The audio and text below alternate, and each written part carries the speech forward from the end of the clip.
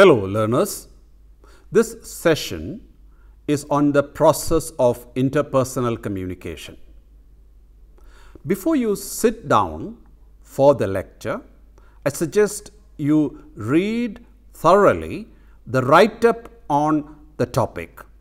You will find the write up in the course content. Now, let us get on with our lecture. I have for you two models on interpersonal communication. I feel the process of interpersonal communication can be best explained with these two diagrams. Right? Let us start with diagram number 1. You will see that the diagram has five elements. There is a sender, there is a channel, there is a receiver and there is noise. Right?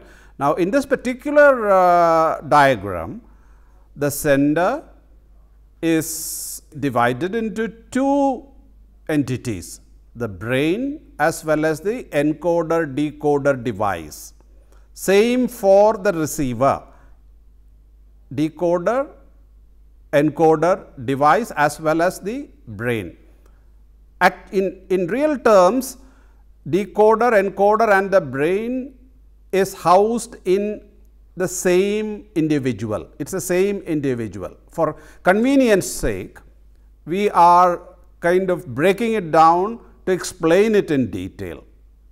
So, essentially there are uh, five elements sender, receiver, sign, channel and of course, noise. Now, this is one of the earlier models and perhaps the most common model or the most, most uh, often used model to try and explain the process of uh, interpersonal communication. And this does a fairly good job. I am not uh, dismissing it uh, outright. But let us first look at how or how this model or this diagram explains the process. The sender has thoughts, ideas, emotions, information to transmit, right. These thoughts, ideas, emotions, information, whatever originates in the sender's brain, right. In one of the, the, the sender is one of the interlocutors. It originates in the sender's brain. Now, the sender wants to transmit them, convey them to the receiver. How can he do it? Well, there is only one way. Those thoughts, those that information, those ideas, those emotions that the sender is seeking to convey to the listener or the receiver has to travel through a channel to reach the receiver. Now, thoughts, emotions, ideas, feelings cannot travel on their own. They don't, they, they, they need to be converted into something that can travel. That, that's where the encoder decoder apparatus comes into play. The encoder decoder apparatus, the, the uh, vocal cords, our tongue, lips, teeth, ears, right? The, the, um, uh, the ear uh, drums and uh, accompanying um, mechanisms, the, all together become the encoder decoder apparatus. Why am I saying it is encoder decoder apparatus? Because every encoder is in reverse a decoder as well. When you one is sending out an information, it functions, the apparatus functions as a encoder. when one is receiving information, the apparatus works as a decoder. So, it, it functions as both encoder and decoder. So, the brain has a thought.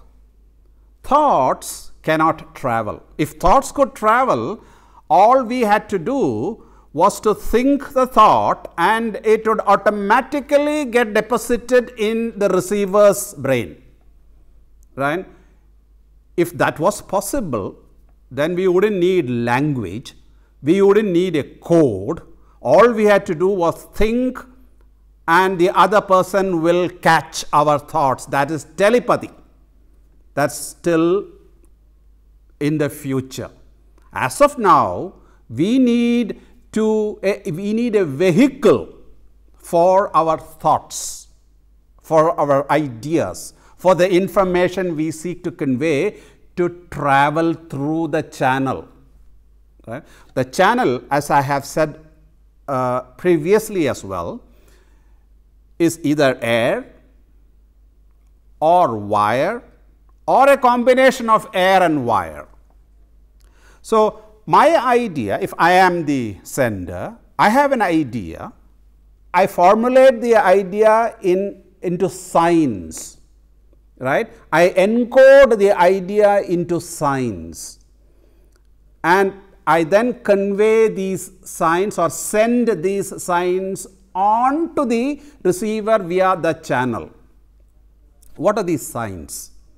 They are both verbal and non-verbal our words are acoustic pulses, right. When we say utter something, our oral oral system converts our thought into sound pulses which can travel. Without these sound pulses, my thought wouldn't reach you. Right? These thoughts reach you because I have a vehicle to send them across in. I have a, a vehicle can carry my thoughts to you and without a vehicle, thoughts will not be transmitted and signs are those vehicles. Uh, non-verbal signs, verbal signs are our words, the language, uh, it may be any language, your native tongue, your second language, your foreign language, whatever, any language you use. In addition to that, there are non-verbal signs also. Look at me, I am using my hands, I am I'm using my face, I am using, I, I, uh, you're reading my, uh, from my posture as well, right? So, the package of signs consisting of verbal and non-verbal cues or behavior travels and they are packaged uh, by the encoder decoder mechanism in, in us right. The thought is taken over by or, or sent or passed on to the encoder decoder, then encoder decoder then converts it into a package of signs that can travel and send it across right. It travels through the channel and reaches the encoder decoder mechanism of the receiver the encoder decoder uh, mechanism of the receiver as far as receiver is concerned it functions as the decoder. It receives these incoming signs whether verbal or non-verbal and decode them into messages, into thoughts, into ideas, right. It decodes them into messages and passes them on to the brain, right. Let me say this again, incoming messages are first perceived by the decoder, right. And here the decoder is not just the oral oral mechanism, even your eyes function as a decoder, because for many non-verbal cues, the eyes are the decoders right. So, you perceive signs coming towards you, the decoder decodes everything it perceives and passes on what it thinks it has decoded or whatever it has decoded on to the brain to make sense. Let me repeat, in regular interpersonal communication, you don't break down the person in uh, the interlocutors into brain and encoder and decoder devices and so on and so forth. It's interlocutor 1, interlocutor 2, communicator, communicatee, sender, receiver. So, the sender's message is encoded, sent through the channel, received by listener, decoded and he or she makes sense of the message. In this particular diagram, this element noise, remember we talked about noise earlier, right, is inevitable, right. You can't wish it away. There is nothing one can do about um, completely doing away with noise. That is not possible. In this diagram, noise acts on the channel. So, um, while your package of signs or packet of signs are traveling through the channel, they are acted on, the packets are acted on by noise. It could be environmental noise, is essentially external noise. It's acting on the channel, it's essentially external noise. Now, this goes back and forth. The, the receiver then encodes a response to what has been received and sends it back to the sender. And the sender then in turn functions as the receiver. He or she in turn responds to the received reply and this goes on back and forth the desired result. Whose result? The initiator's result is achieved. This is a back and forth process. If you go by this model, communication is a very simple and straightforward act. If you encode properly and the receiver decodes it properly, making allowances for noises or noise acting on the channel, communication is a fairly simple, straightforward act and it's a foregone conclusion. Desired result is a foregone conclusion. But if you have, if you have impaired, impaired abilities to think or your thought processes are not uh, uh, good enough or, or, or, or uh, sharp enough or, or rich enough, or your decoder encoder mechanism is um, flawed for some reason, then encoding wouldn't be appropriate or good. As a consequence, there could be faulty decoding by the receiver and the message could be warped or misunderstood. But if encoding and decoding is perfect, right, is, is, is good, then communication should not be a problem. Communication should be as is, is as easy as children playing. It's quite simple, it's quite straightforward. But we all know that communication is not that easy. We all know that communication is quite complex. We all know that communication is very challenging. And we all also know that ambiguity and confusion and misunderstandings and miscommunication is quite common in interpersonal interactions.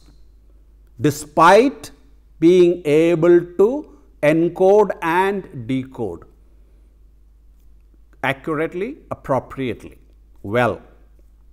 So, if you go by this diagram, you, you, you, if you are healthy enough, if you, if you have enough thoughts in your mind, you can communicate. And if I am healthy enough, uh, I mean in the sense my uh, uh, encoder decoder um, mechanisms are not compromised and I also have a thinking mind, I, I, can easily communicate with you, right. It's just a matter of you encoding your thoughts and sending it across to me and I decoding it and then uh, reacting it till a, uh, a desired result is achieved. But the truth of the matter is it is not that simple or easy. It's quite the opposite. Uh, and I have a few favorite sitcoms, uh, you know, that I, I, I watch regularly, English uh, sitcoms.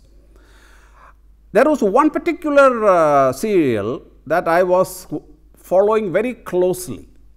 I, I quite liked it. But during one episode, somewhere in the episode, one of the characters in the sitcom made a statement, uh, the following statement. It went like, I quote, I work the graveyard at the post office. I work the graveyard at the post office. I was a little taken aback. I was confused. Did I not hear it properly? Yes, he did say, I work the graveyard at the post office. What, what does he mean by that? What has a graveyard got to do in a post office or with a post office? How are they connected? I didn't, I, I couldn't make sense of that utterance. What was this person saying? Right? I, I, did I not encode it? Uh, did I not decode it properly? Yes, I think I decoded it properly. I went back and listened to it again. Yes, I heard what he said. Did he not encode it? Yes, of course he encoded it well, right? We are both fairly proficient or more or less on this, at the same level of proficiency as far as uh, the language being used is concerned. That is, in this case, it was English, right? Then where did I go wrong? Encoding was right, decoding was right, right? Uh, according to this model, I should not have any, there should be no confusion. I should have understood um, uh, the utterance, the statement. It, uh, it, it should not have functioned as a barrier, right? But it did. It did not have the desired effect. Ambiguity persisted. I was confused. I lost thread of the story and I, I kind of lost interest in that episode, right. But it is still bothering me. So, later in the day, I mentioned it to my teenage son, um, and uh, he smiled at me and said, Look, dad, graveyard shift in the context of a workplace refers to the midnight shift. It's as simple as that. It has got nothing to do with the graveyard as such, right? There is no graveyard in the post office or near the post office. The post office has not shifted to the graveyard. The graveyard has not shifted to the post office. There are no graves. There are no uh, ghosts. Nothing. All it means is it's the midnight shift, right?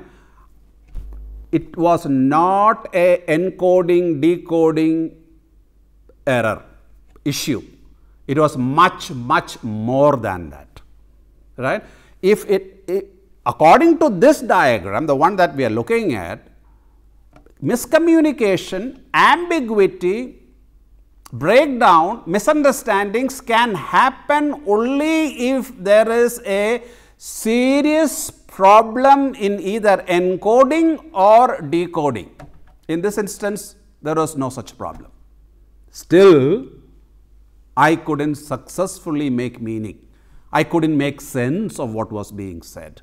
I lost interest. I mean, I was confused, right? I was a little disturbed also that I couldn't make out what was being said. So, that example illustrates the fact that or the, the point that I have been making that communication cannot be just a matter of encoding and decoding, however well that is done. However well that is done, it cannot be just a matter of encoding and decoding. Diagram 2 is actually a modified version of diagram 1. It has the same elements and it adheres more or less to the process explained earlier. However, there are some differences. there are some changes, variations. Before I start talking about it, I would like to mention that this particular diagram, there is always a channel and there is always noise, right. So far, this looks very much like earlier model in terms of elements, in terms of the process.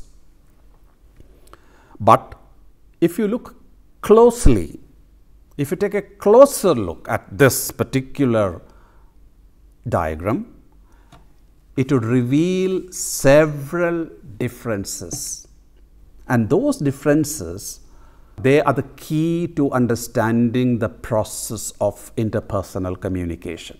What are those differences? I can list three types of differences, three types of differences. First type, if you look at a screen, on the screen I have signs, right, emanating from the communicator. These are signs, various signs. Please count the number 1, 2, 3, 4, 5, 6, 7, 8, right. Representative, 8 signs emanating or put out or transmitted by the communicator. How many does how many reaches the communicatee? Let us count the signs the communicatee perceives or signs that have reached the communicatee 1, 2, 3, 4, 5, 6.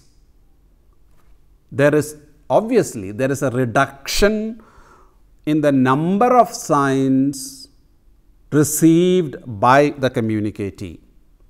What could have happened to these signs then? Obviously, they were lost in transit.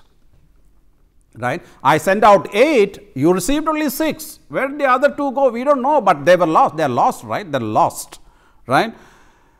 The, this loss will significantly affect the communicatee's ability to decode the message.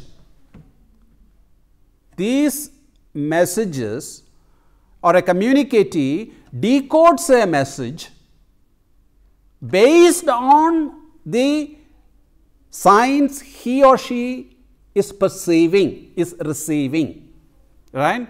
So, if he or she, the communicatee receives only 6 signs, her decoding is based on those 6 signs.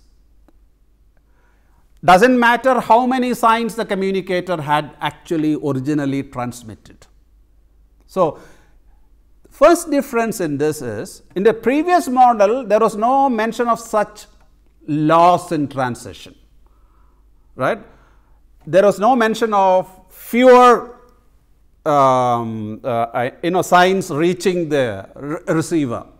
The assumption was that everything that was sent by the communicator would automatically reach the uh, receiver, though there would be some uh, impact uh, on, en route because of noise, on account of noise.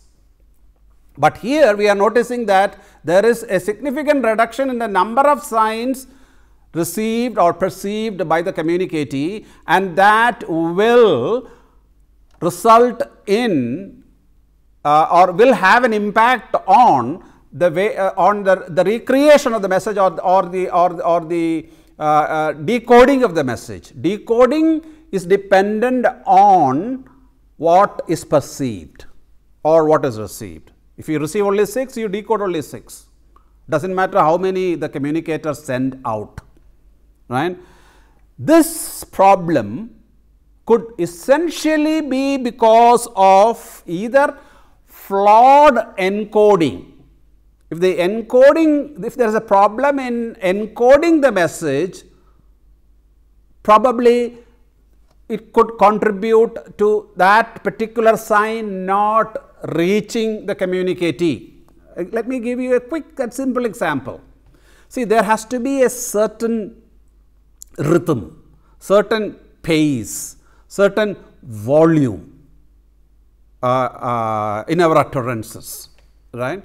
And this, the, the, these factors have to be appropriate enough to, uh, uh, to carry to the communicatee. But some people have this habit of mumbling. I am just trying to um, illustrate this point, right? Mumbling.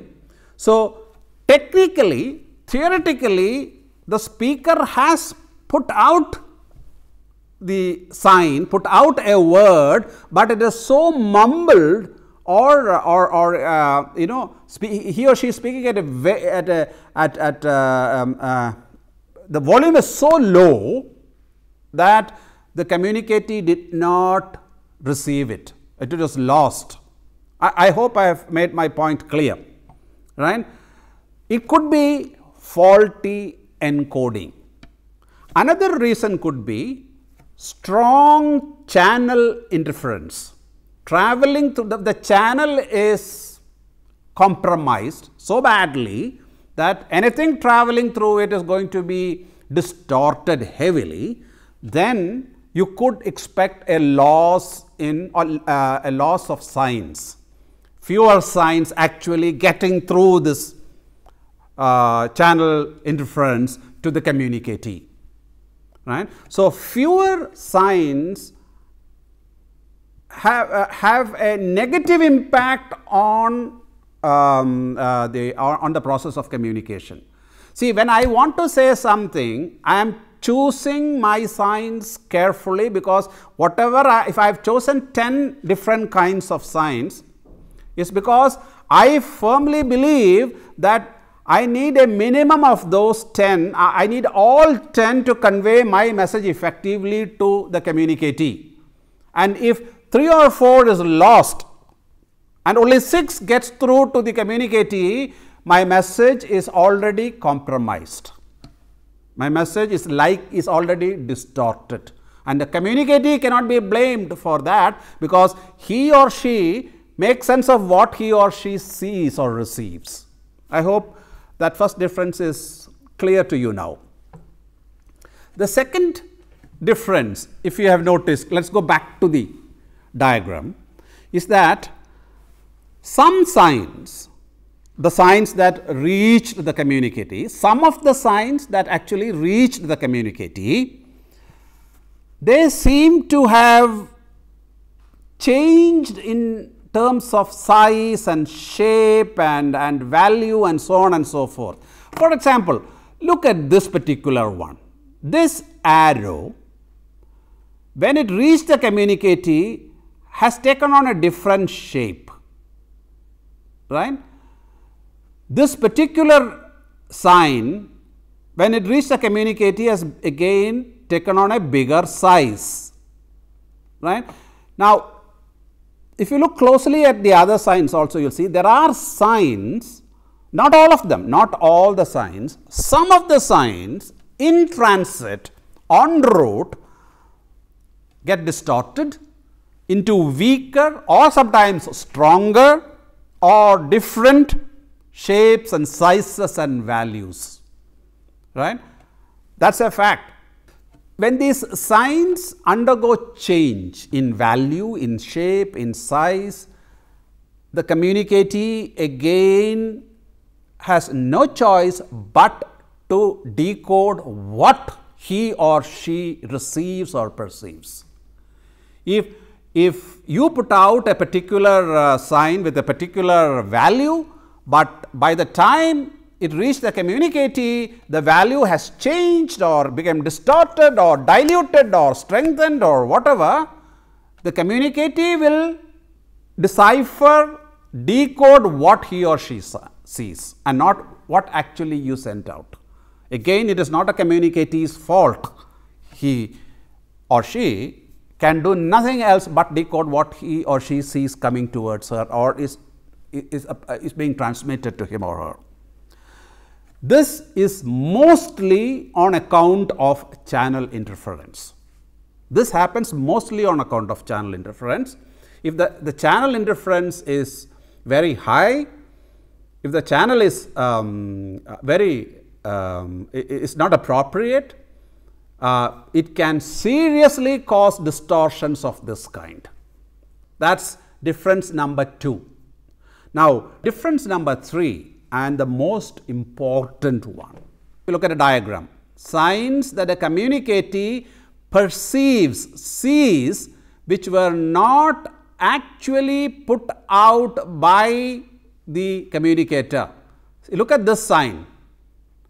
This sign was not actually put out by the communicator, yet the communicatee sees it, right. Uh, this particular sign again not put out by the communicator, but the communicatee sees it and he or she factors that into the decoding process, right, making meaning process. Now, how does this happen? It happens because of two reasons. One, they are being transmitted, right, but we are not aware of it. We did not choose to deploy them, but yet they are being deployed. Why? Probably because of factors like strong emotions or other internal barriers like preoccupation and so on and so forth.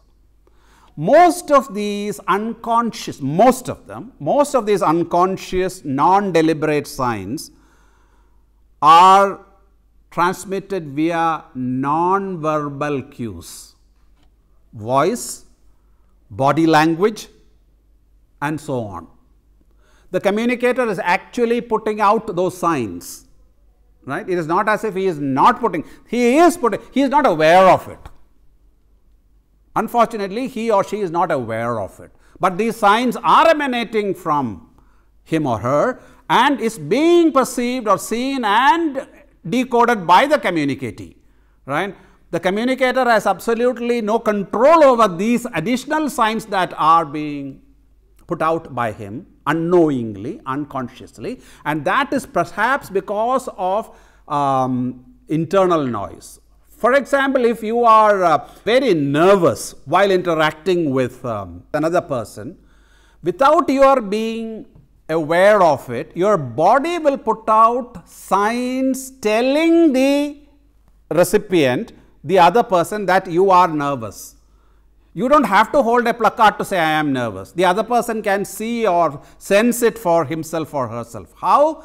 He can, your twitchy movements, your shifting eyes, your sweaty brow, your restless posture, many, many such things give away the fact that you are nervous. And the communicatee includes that also in the process of making meaning. These um, uh, signs were not actually deliberately put out, but they were put out without your knowledge, without the sender's knowledge. But there is another category of signs, right, which is again part of this third difference, where the communicatee, that is this person, the receiver, on account of his own internal noise, it could be fear, it could be prejudice, it could be selfishness, or it could even be a cultural thing. He or she imagines signs where actually there are none. So, the communicatee imagines non-existent signs because of communicator's internal noise. In the previous thing, the communicator's internal noise was sending out messages without a communicator being aware of it. Here, the communicatee reads or sees or perceives messages as if they are coming from the communicator. But these, these signs are not there, they are non-existent and only a figment of the communicatee's imagination. But nevertheless, the communicatee includes those also in his meaning making, in making sense of the message in his decoding. In other words, this particular model implies that communication is not a simple straightforward mechanical exercise of encoding and decoding signs. It is a complex process of making sense of a array of signs both verbal and non-verbal. How does the process start? It starts with the communicator, that is the sender, deliberately selecting and transmitting a variety of signs to the communicatee to convey his message or her message. In addition to the signs that the communicator has deliberately put out, you have two more sets of signs. One, signs coming out from the communicator, involuntary signs. Two, signs that are not there, but still the communicatee sees it because of his or her internal noise. In addition to all this, this package is subjected to channel interference en route. Therefore, the array of signs the communicatee perceives and decodes is different vastly from the array of signs the communicator actually put out or transmitted. And the communicatee decodes the array he or she perceives and meaning is made according to that, that decoding. Therefore, it is clear to you if you look at the picture it is clear to you that as a result of decoding the communicatee arrives at a message which is highly unlikely to be the same as the original message. Look at this, this is the original message, this is the received message. The decoded message is highly unlikely to be the same as the original message, right. The received message thus is always different from the original intended message. The reaction to it the response to it will also therefore may not be as desired. That is the problem. You react to what you have decoded or made sense of and what you have made sense of is not essentially what the communicator really wanted you to. So, in interpersonal communication this ambiguity, this misreading is inevitable. Good communicators realize this fact, accept it, recognize the challenge and they compensate by deploying adequate signs and by other means. They compensate through various means to make their messages understood by the communicatee, understood the way they want it understood. Let me end this uh, uh, lecture by saying Communication is deemed effective when the communicator achieves satisfactory and intended response from the communicatee and that is not an easy task. I have just explained why, right. You have to ensure, one has to ensure that the message you are sending out is understood the way you want it understood by the receiver. And that's a very difficult task and that's why communication is perhaps one of the most difficult acts